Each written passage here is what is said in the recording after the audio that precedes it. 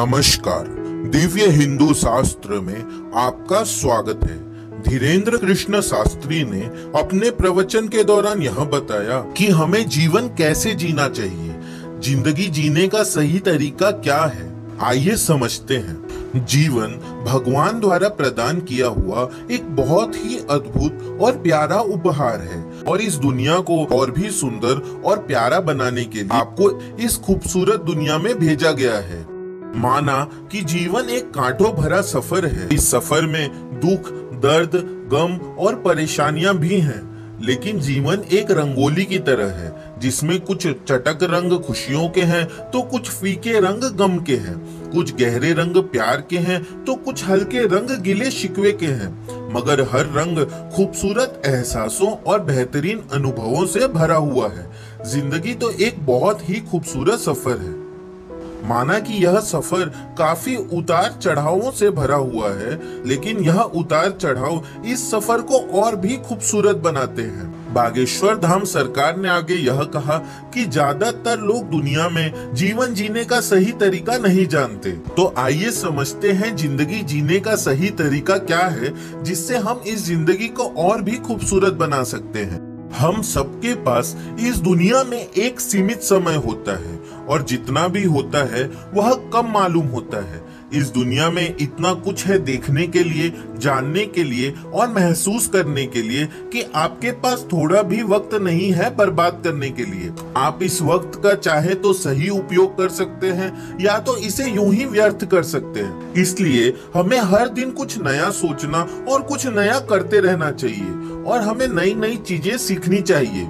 क्योंकि किसी काम को न करके पछताने से कहीं बेहतर है कि उसे करके पछताना। क्योंकि यदि उस काम को करके आपको कुछ भी ना मिले तो उससे आपको तजुर्बा ज़रूर मिलता है और यह जीवन में बहुत कीमती होता है। इससे आपको सही और गलत के बीच का फ़र्क समझ में आता है। आप गलती करने से ना डरे, गलती करके ही मनुष्य सीख सकता है। आगे उन्होंने यह बताया, सबसे आप उतना ही प्रेम करें जितना कि आप खुद से करते हैं। सबकी इज़्ज़त करें और सबकी मदद करें। सबसे प्यार करना सीखें, क्योंकि इस दुनिया में प्यार की बहुत कमी है। इसकी सबको बहुत ज़रूरत है। जीवन में किसी भी काम को करने में संकोच ना करें। जब भी दिल करे तो उसे कर लें। हर रोज खुल कर जिए। हमेशा बचपना और मासूमियत ज़िंदा रखें, क्योंकि जिस दिन ये बचपना चला जाता है, उस दिन आपकी मासूमियत चली जाती है। और मासूमियत चले जाने से ज़िंदगी का मज़ा भी चले जाता है। आप अपने भविष्य के बारे में सोचिए, लेकिन उसकी चिंता ना करें और अपने बीते हुए दिन को याद करके परेशान ना हों ज़िंदगी में कभी अच्छे दिन आएँगे और कभी बुरे दिन भी आते हैं।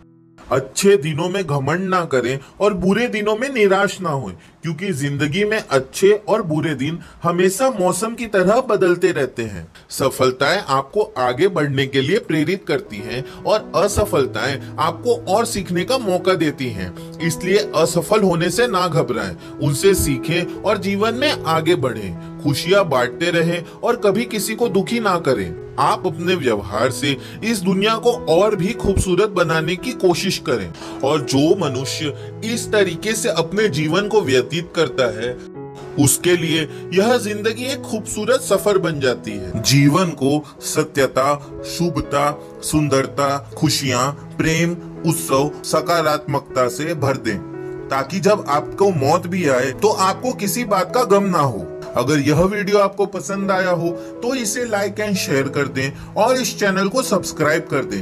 इस प्रकार की वीडियो प्राप्त होती रहेगी। धन्यवाद।